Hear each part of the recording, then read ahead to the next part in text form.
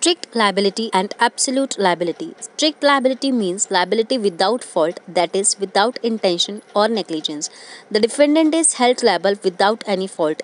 It is also liability, which was evolved in Rylands versus Fletcher's case.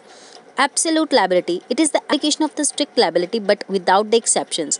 Absolute liability is a standard of legal liability found in tort and criminal law of various legal jurisdictions evolved in the famous case of MC Mehta versus Union of India in 1987.